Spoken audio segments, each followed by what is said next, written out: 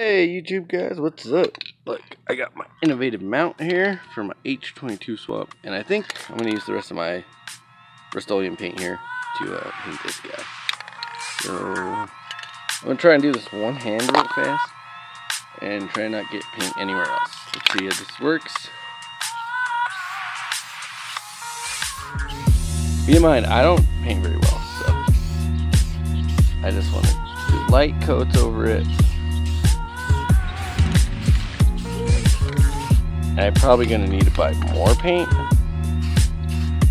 But, uh, yeah, just uh, doing a quick little DIY. I don't want this black in my bay kind of deal.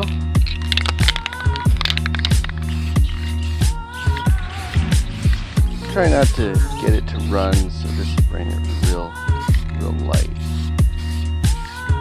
I don't care if uh, this is my spare tires, I don't really care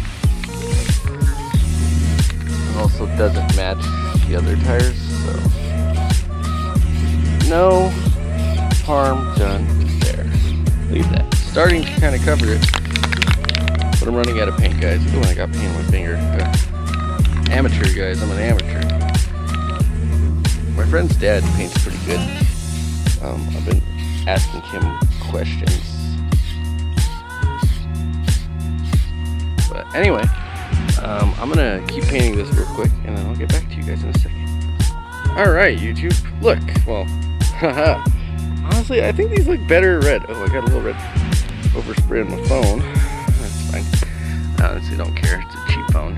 Um, this is fresh. Like, I gotta get still like in here and probably in here a little better, but for first coat into watch, you can hear it. Mostly out of paint. I have to go to Walmart, get another one of these, probably two of these cans, like six bucks. I mean, I was able to do that and put like five layers of paint on the front end of this car with one can. So it's alright. I'm just gonna let that sit probably till I go to work. I go in probably about an hour and a half. And then might just try and see what paint's left in here and try and get all the uh, black spots that I can do on top. I'm not going to do the outside, uh, the other side. Really don't care that much about the other side. It's going to be bolted to the chassis. Anyway, guys, I'm going to touch it up again, just finish parts I showed you, and then I'll uh, let it sit, and we'll come back to it right before I go to work. See you guys. Until then, I'll get back to you.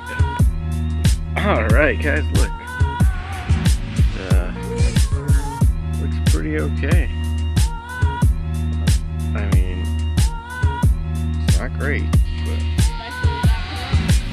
what? I think a little project.